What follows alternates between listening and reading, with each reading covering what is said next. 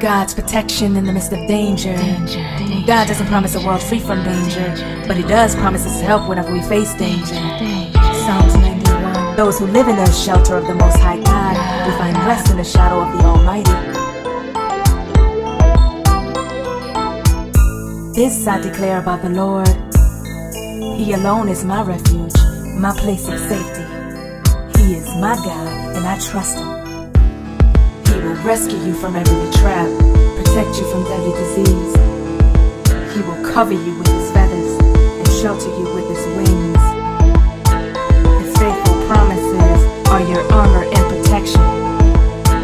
His faithful promises are your armor and protection. Don't be afraid, of the terrors of the night, nor the arrow that flies in the day. Not dread the disease that stalks in the darkness, nor the disaster that strikes at midday.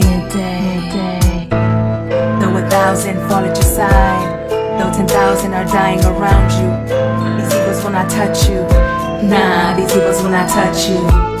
Just open your eyes and see how the wicked is punished.